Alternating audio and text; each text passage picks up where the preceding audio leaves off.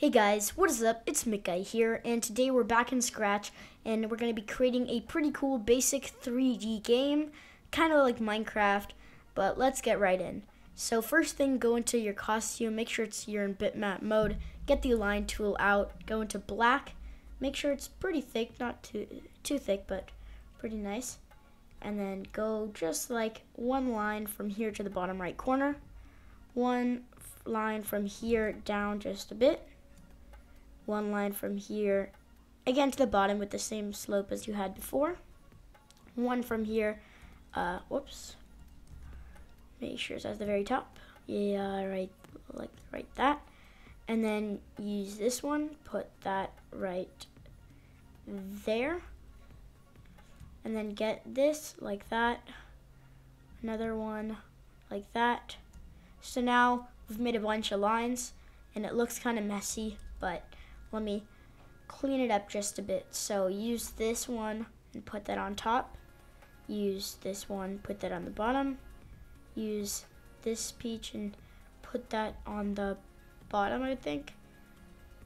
Use this one and put that on the top. So there we go, that's our hand, just like Steve. Just like Steve has a hand in Minecraft, this is ours in our game.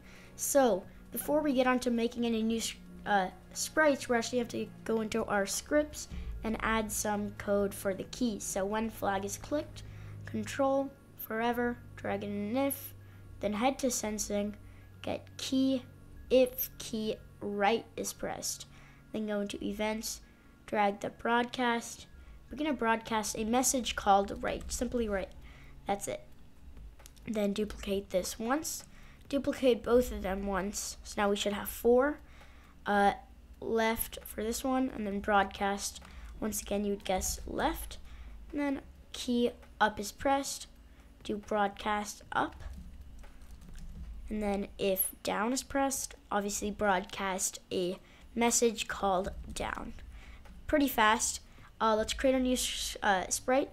And I'm going to paint this. It's not going to be too good of a job, but try to ignore that and just focus on what I'm doing with the code. But yeah, so create something like that. And then I'm going to add a couple squares and rectangles on the top to act as uh, the leaves and stuff. Obviously it doesn't look nice, but we're gonna have to deal with that. So add this one here, grab this one. Actually, let's grab um, the bright one. And then let's do that like that. Okay. Uh, so actually, let's remove these two and then just add one that looks like that. There we go. Pretty bad job of a tree, but it's going to work for this, uh, this game. So when flag is clicked, go into looks, go show, uh, clear all effects. So clear graphic effects, that one. Set size to 100%. And um, yeah, that should be it just for when you start. Go into control, drag in a forever.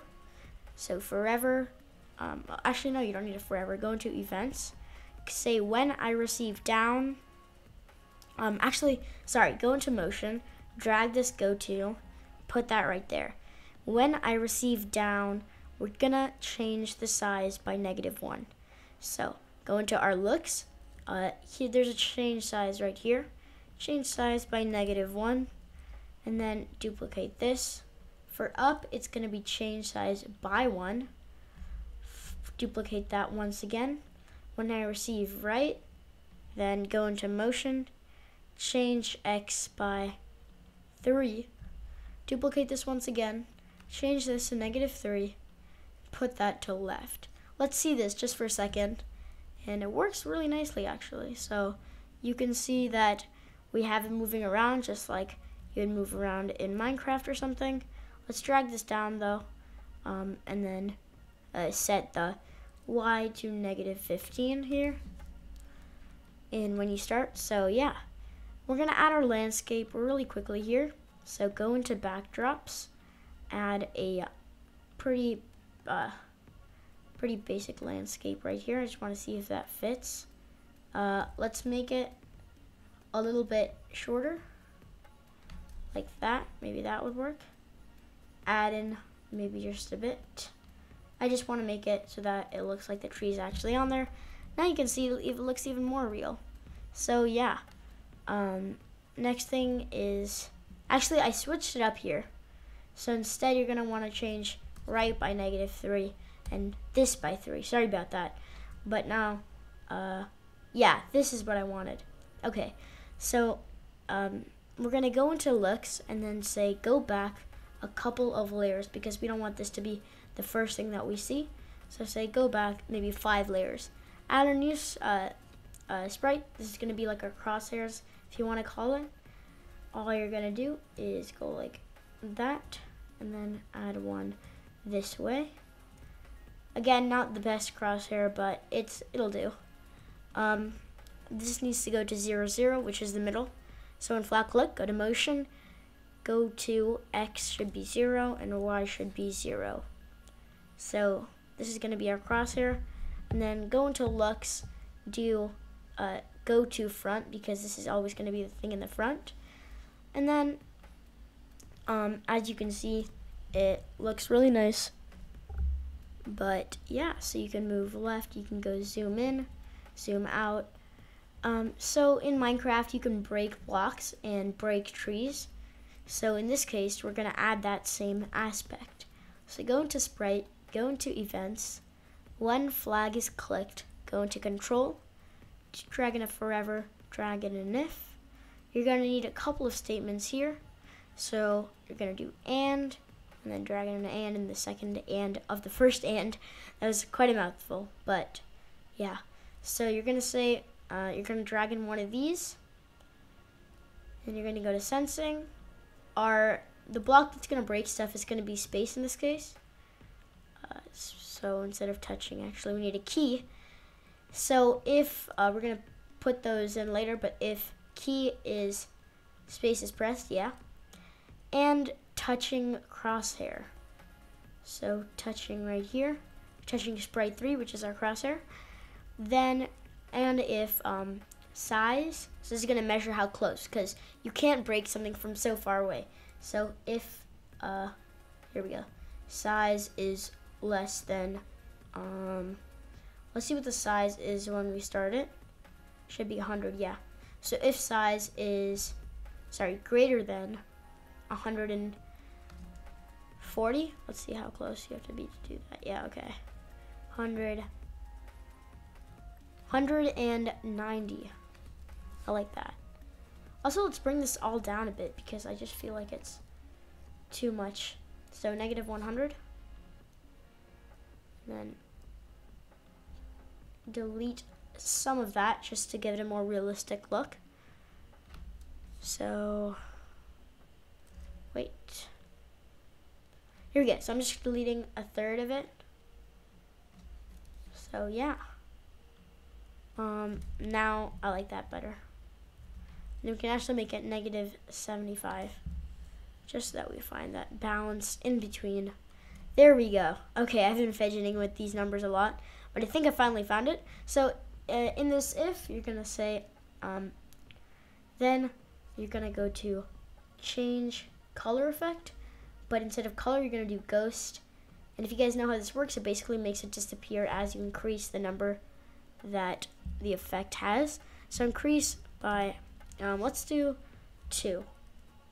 So now, if you press space now, nothing happens. But if you have it in your crosshairs and you're above that 191 size, then you can actually start to break it.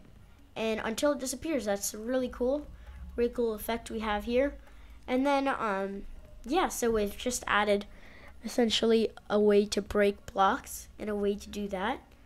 Um, so we have a pretty good game so far. And you can see that we have size showing right here. We don't need that to show. So we can decrease that by one.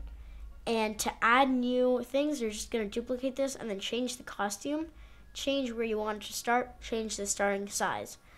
So, um, for example, we can add a, let's add a, let's see what I can draw here in a couple of seconds. Let's add a house right? So go into here, make a, let's make it this here, and then make a line, use the line tool. Get a, a dark red. I think that would look cool in this case. hold down shift, create like a triangle so it looks like a pretty basic house. There we go. Decrease the size because we don't want the top to be cut off. So, whoops, can't seem to select it. Okay, here we go. Whoops. Oh my god, what's happening? Ah. Okay, wait. So instead, let's simply add a house. Here we have it.